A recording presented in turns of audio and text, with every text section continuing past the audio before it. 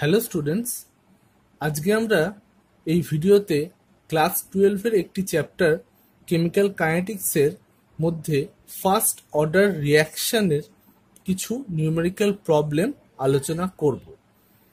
এই ভিডিওতে আমি ফার্স্ট অর্ডার রিয়াকশন সম্পর্কে দু একটা কথা বলব এবং ফর্মুলাটা বলে নিয়ে তারপর প্রবলেমগুলো স্টার্ট করছি। তাহলে সোজা থিওরিতে চলে আসি। মনে করা যাক, কোন একটা রিয়াকশন এ থেকে প্রোডাক্ট কিছু একটা তৈরি হয়েছে এবং এখানে কিছু একটা সামনে কোএফিসিয়েন্ট আছে, এটাকে বলে স্টয়সিওমেট্রিক কোএফিসিয়েন্ট তো এবার বিষয়টা হচ্ছে যে আমরা যখন রিয়াকশন রেট বোঝাচ্ছি, তো রিয়াকশন রেট আমরা দেখব যে K into concentration of A এইরকম রিয়াকশন রেট হবে যদি এটা ফার্স্ট অর্ডার রিয়াকশন হয়, তার কারণ এই ইকুয়েশনটাকে আমরা বলি রেট ইকুয়েশন রিয়াকশনের রেট ইকুয়েশন এবং এই যে পাওয়ারটা আমরা দেখতে পাচ্ছি পাওয়ারটা কত? কিছু নেই পাওয়ারে মানে পাওয়ারটা ওয়ান অর্থাৎ এই ধরনের রিয়াকশনগুলোকে আমরা ফার্স্ট অর্ডার রিয়াকশন বলছি। অর্থাৎ রিয়াকশন রেটটা যখন কনসেন্ট্রেশনের সাথে প্রপোর্শনাল হয়, সেই রিয়াকশনগুলো হচ্ছে ফার্স্ট অর্ডার রিয়াকশন তাহলে আমরা এখানে যেটা দেখতে পেলাম minus D A by DT equals to K into concentration of A এইরকম আমাদের একটা ইকুয়েশন আসছে ফার্স্ট অর্ডার রিয়াকশনের ক্ষেত্রে। এবার যদি ইনিশিয়াল কনসেন্ট্রেশন আমরা ধরে নিই ইনিশিয়াল কনসেন্ট্রেশন ধরে নিই আমরা, সে এ ইনিশিয়াল কনসেন্ট্রেশন এ ধরে নিলাম এবং রিয়াকশন চলতে চলতে সাপোজ টি টাইমে গিয়ে কনসেন্ট্রেশন হলো কনসেন্ট্রেশন অ্যাট টাইম টি যদি হয় এ মাইনাস এক্স অর্থাৎ এক্স অ্যামাউন্ট অফ প্রোডাক্ট তৈরি হয়েছে, তাহলে কনসেন্ট্রেশন হয়ে গেছে A minus X at time T তাহলে এই ইকুয়েশনটাকে আমরা অন ইন্টিগ্রেশন ইন্টিগ্রেশন করে কি পাবো? ইন্টিগ্রেশন করে যে ফর্মটা পেয়ে থাকি, সেটা হচ্ছে K equals to two point three zero three by T log A by A minus X এইটা হচ্ছে ফার্স্ট অর্ডার রিয়াকশনের জেনারেল ফর্মুলা যেখানে এ হচ্ছে ইনিশিয়াল কনসেন্ট্রেশন আর এ মাইনাস এক্স হয়ে গেল কনসেন্ট্রেশন এর টাইম টি অর্থাৎ এক্স পরিমাণ প্রোডাক্ট তৈরি হয়েছে। এবং এই পুরো ব্যাপারটাই ঘটেছে টি সময়। আর কেটাকে বলছি আমরা? রেট কনস্ট্যান্ট কেটা হচ্ছে রেট কনস্ট্যান্ট তো প্রত্যেকটা টার্ম একটু মানেগুলো জেনে নিতে হবে, তাহলে নিউমেরিক্যাল করতে সুবিধা হবে। এটাকে আরেকটা ফর্মে আমরা লিখতে পারি, সেটা হচ্ছে কে ইকুয়ালস টু আমরা লিখতে পারি two point three zero three by T log A zero by A এটা কি? এটা হচ্ছে যখন আমরা এ জিরো বাই এ এই ফর্মে লিখতে পারি আমরা। তো যখন দেখা যাচ্ছে যে কোনো একটা, ধরো রিয়াক্টেন্টের ইনিশিয়াল কনসেন্ট্রেশন ধরো এ জিরো যদি হয়, আর টি টাইমের কনসেন্ট্রেশন যদি এ হয়, তাহলে আমরা এইভাবেও ফার্স্ট অর্ডার রিয়াকশনের ফর্মুলাটাকে লিখতে পারি। তাহলে এই ফর্মুলাগুলি আমাদের মেইন কাজে লাগবে ফার্স্ট অর্ডার রিয়াকশনের ক্ষেত্রে এবং যে প্রবলেমগুলো আজকে আমরা আলোচনা করব, সেই প্রবলেমগুলোতে কাজে লাগবে। তো আমরা এবার প্রবলেমের সঙ্গে চলে আসি। আমরা প্রথম প্রবলেমটা দেখে নিই। বলছে seventy five percent of the reaction complete হচ্ছে ওয়ান আওয়ারে ভালো করে লাইনটা পড়বে। সেভেন্টি ফাইভ পার্সেন্ট আমরা এখানে দেখতে পাচ্ছি সেভেন্টি ফাইভ পার্সেন্ট রিয়াকশনটা কমপ্লিট হয়ে যাচ্ছে কত টাইমে ওয়ান আওয়ারে তাহলে কোয়েশ্চেন যেটা চেয়েছে হাফ লাইফ অর্থাৎ টি হাফ এটা কত হবে? তো এখানে আমরা টি হাফ ক্যালকুলেশন করব। প্রথমেই বলে নিই টি হাফ হলো point six nine three by K যে কোনো ফার্স্ট অর্ডার রিয়াকশনের ক্ষেত্রে টি হাফ হয় point six nine three by K তাহলে আমাদেরকে কেটা ক্যালকুলেট করতে পারলেই টি হাফের ভ্যালু ক্যালকুলেট করতে প্রবলেম নেই।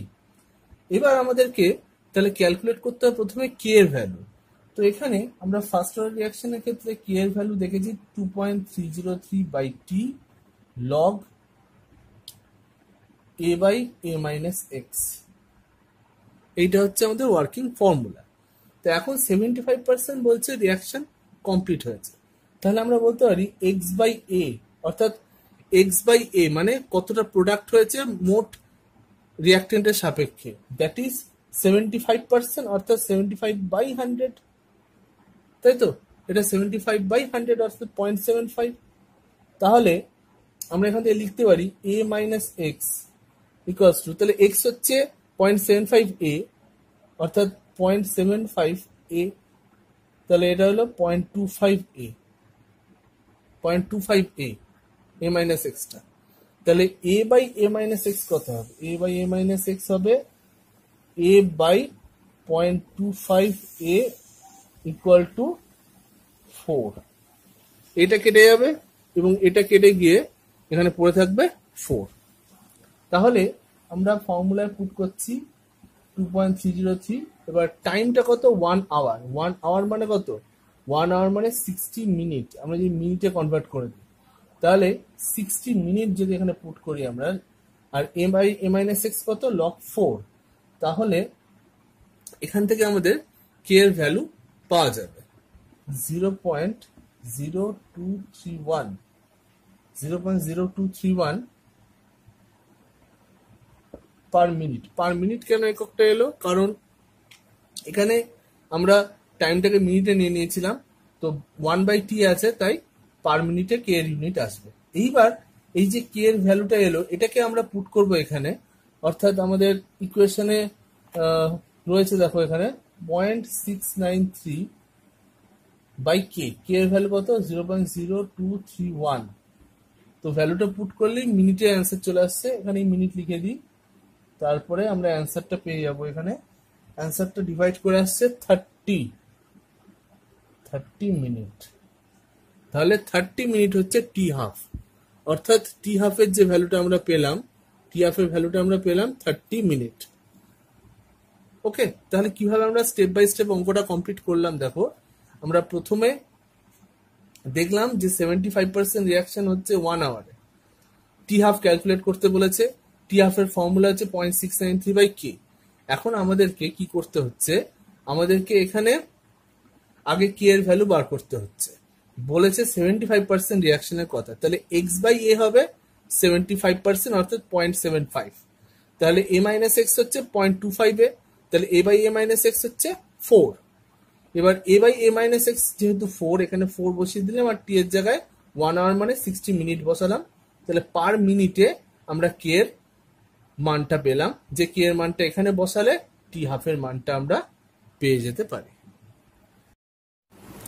চলে আসছি আমরা দ্বিতীয় কোয়েশ্চেনে দ্বিতীয় কোয়েশ্চেনটা আমরা দেখতে পাচ্ছি যে একটা ফার্স্ট অর্ডার রিয়াকশনের ক্ষেত্রে বলা হচ্ছে ninety nine point nine percent যে কমপ্লিট হবে, সেই কমপ্লিট হতে যে টাইম লাগছে, আর ফিফটি পার্সেন্ট কমপ্লিট হতে যে টাইম লাগছে মানে হাফ লাইফ মানে কি ফিফটি পার্সেন্ট কমপ্লিট হতে যে টাইমটা লাগে। তো এই রেশিওটা আমাদের দেখাতে হবে টেন ঠিক আছে? অর্থাৎ একটা ফিফটি পার্সেন্টের ক্ষেত্রে টাইম কত হবে, আর নাইনটি নাইন পয়েন্ট নাইন পার্সেন্টের ক্ষেত্রে টাইম কত হবে, তার রেশিও করলেই অঙ্কটা কমপ্লিট হবে। আমরা প্রথমে ফার্স্ট অর্ডারের ফর্মুলাটা দেখে নিই। T equals to two point three zero three by k log a by a minus x এখানে আমরা দুটো সিচুয়েশন নেব। একটা হচ্ছে আমাদের ninety nine point nine percent complete হতে যে সময় লাগবে।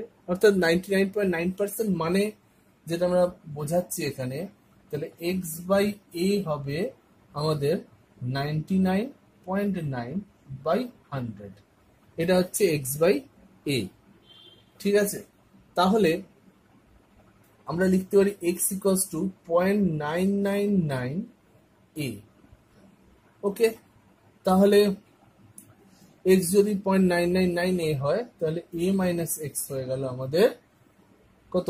A minus point nine nine nine a equals to তাহলে হচ্ছে point zero zero one a okay এবার a by a minus x তাহলে সেটা কত হবে?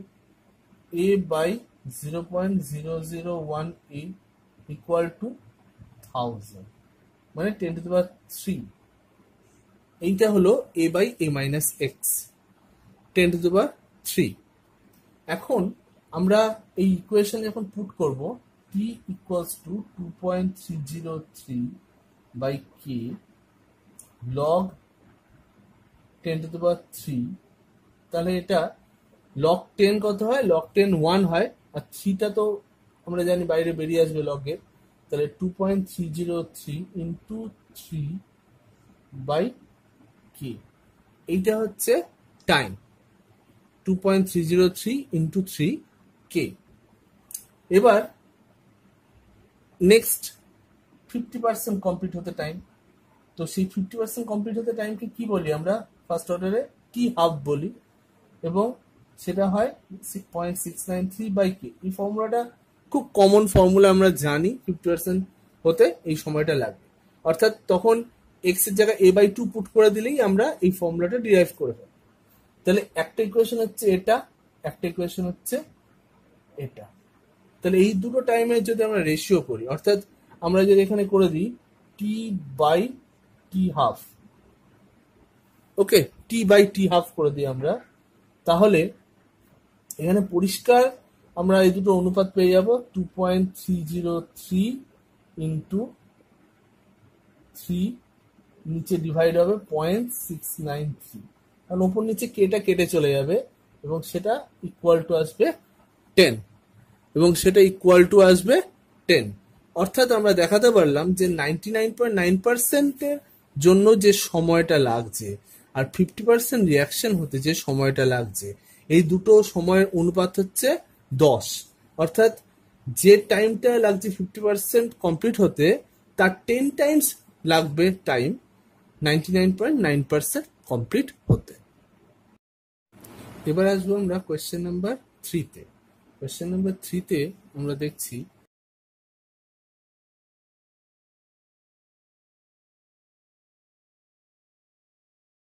বলা আছে টোয়েন্টি ফাইভ পার্সেন্ট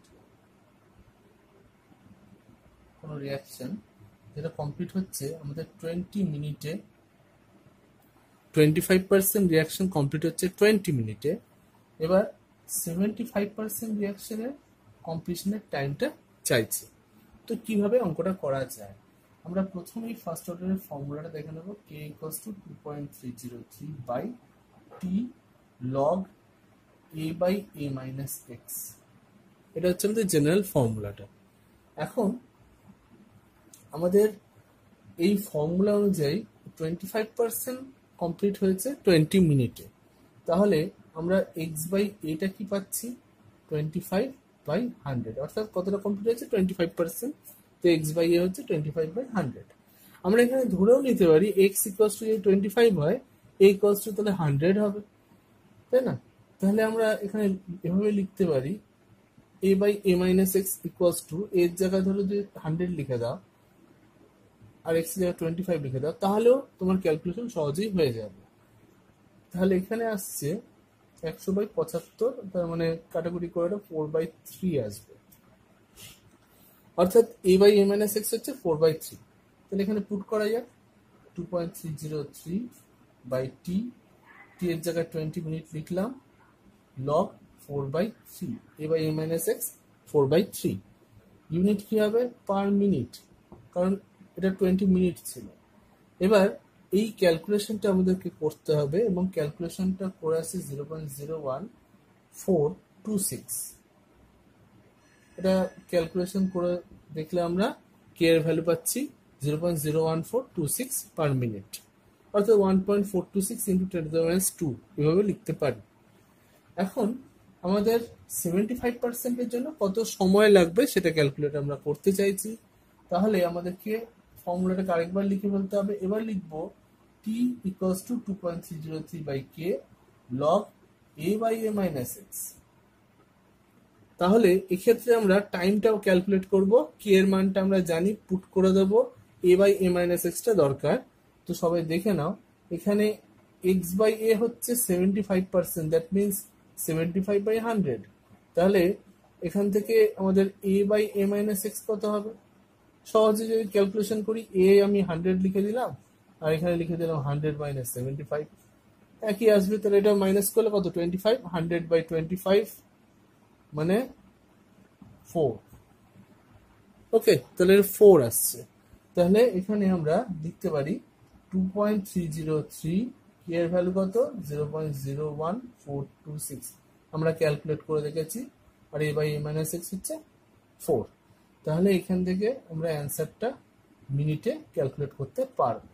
তো এটা ক্যালকুলেশন করে দেখলে আসছে ninety seven point two three three minute অর্থাৎ এইভাবে করে আমরা টাইমটা ক্যালকুলেট করলাম সেভেন্টি ফাইভ পার্সেন্ট রিয়াকশন হতে যে টাইম লাগবে ninety seven point two three three minute তো এইভাবে আমরা প্রথমে টোয়েন্টি ফাইভ পার্সেন্টের জন্য যে কুড়ি মিনিট লেগেছিল, সেখান থেকে আমরা কি ক্যালকুলেট করে নিলাম? রেড কনস্ট্যান্টের মানটা কত? বার করলাম। সেই মানটাকে বসিয়েই টাইমটা আমরা ক্যালকুলেট করলাম সেভেন্টি ফাইভ পার্সেন্টের জন্য কত সময় লাগবে। এরপর question number four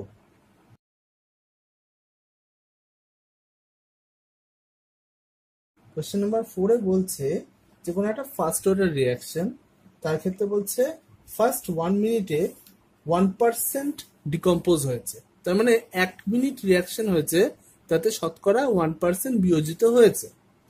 এই অবস্থাতে এক ঘণ্টা পরে কত পার্সেন্ট অবিয়োজিত থাকবে বা আনডিসোসিয়েটেড থাকবে আনডিসোসিয়েটেড অ্যামাউন্টটা জানতে চাইছে।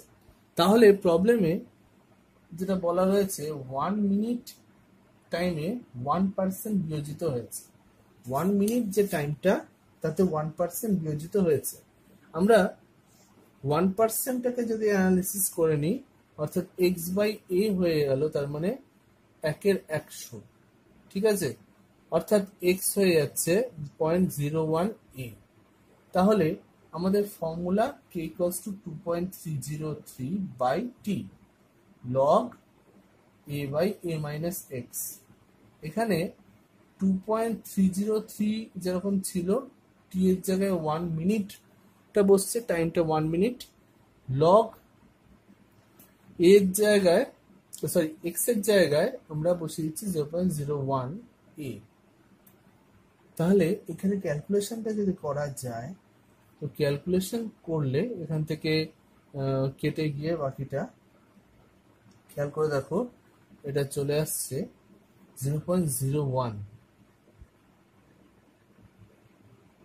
এখান থেকে এটা কেটে যাবে ওপর নিচে, এবং এখানে এটা যদি ওপর নিচে কেটে যায়, এখানে থাকছে আমাদের ওয়ান আর এখানে থাকছে পয়েন্ট নাইন নাইন ঠিক আছে? তো সেটা বসে ক্যালকুলেশন করে আমরা যেটা কে এর মানটা পাচ্ছি zero point zero one per minute এই মানটা কে আসছে। এবার আমাদেরকে যেটা বার করতে হবে, এক ঘণ্টা পরে এক ঘণ্টা পরে তাহলে কত পার্সেন্ট থাকবে, বেঁচে থাকবে কতটা পদার্থ সেইটা। তো এখানে আমরা আবার আমাদের যে ফর্মুলা রয়েছে কে ইকস টু আমরা two point three zero three by t log a by a minus x put করে দিচ্ছি। আমরা ইকুয়েশনটাকে বসাচ্ছি।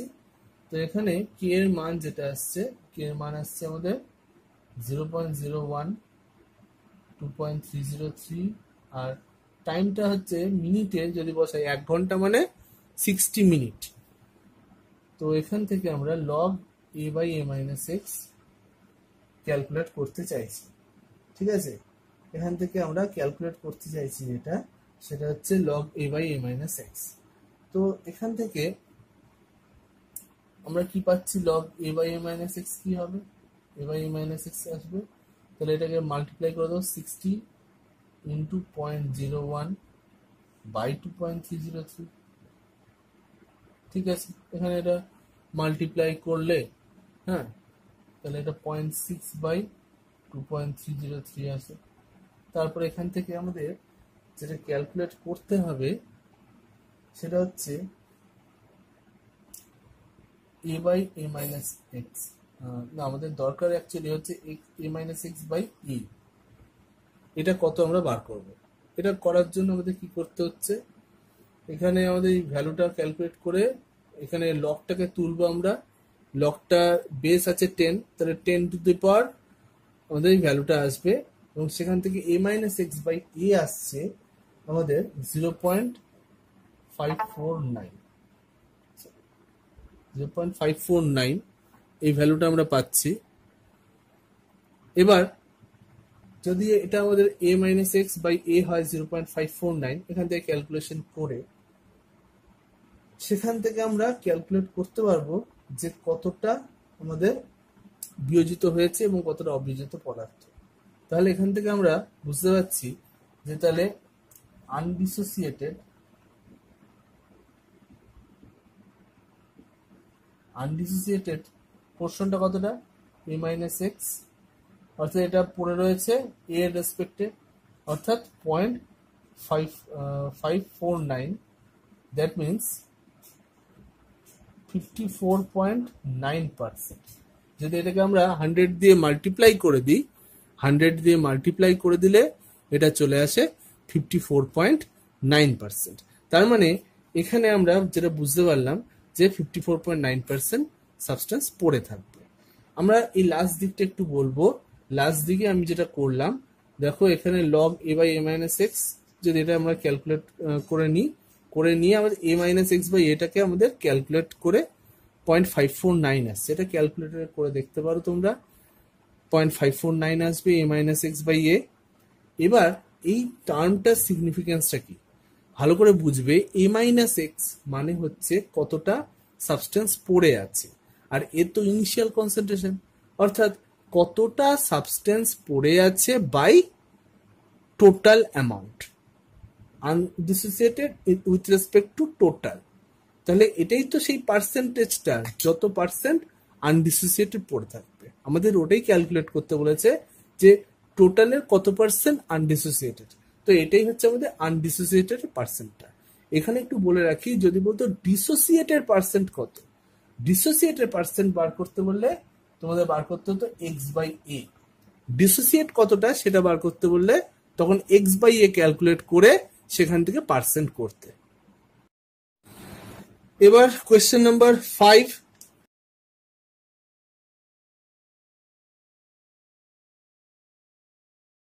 question number ফাইভে যে প্রবলেমটা আমরা দেখতে পাচ্ছি এখানে বলছে ওয়ান গ্রাম কোন একটা রেডিওঅ্যাক্টিভ সাবস্টেন্স সেটা ডিকে হতে হতে zero point zero six two five গ্রামে কনভার্ট হয়েছে। কত বছর সময় লেগেছে? টোয়েন্টি ইয়ার্স তাহলে ব্যাপারটা লেখা যাক।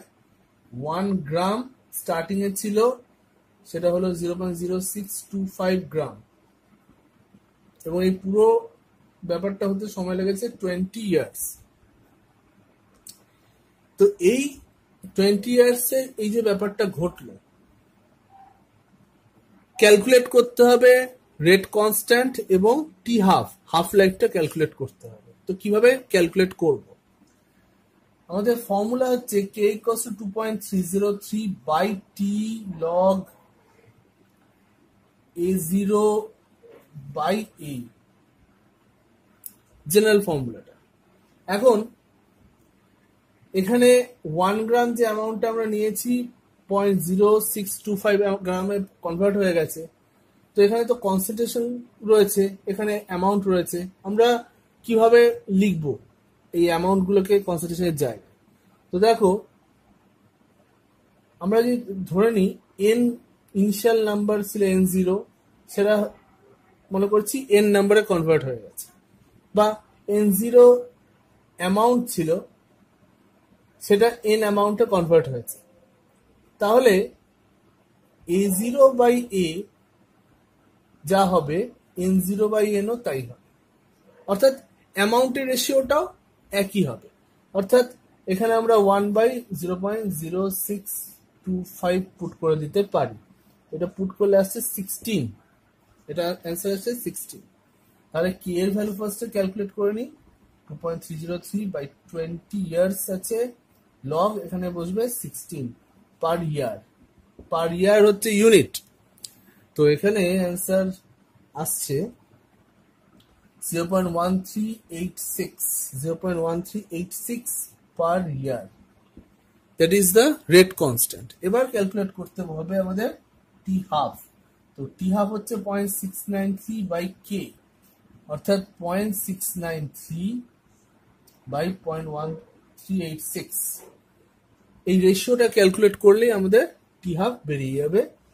এটা বসিয়ে আসছে। আচ্ছা ইউনিটটা বসিয়ে দিই ইয়ার হবে কত ইয়ার আসছে?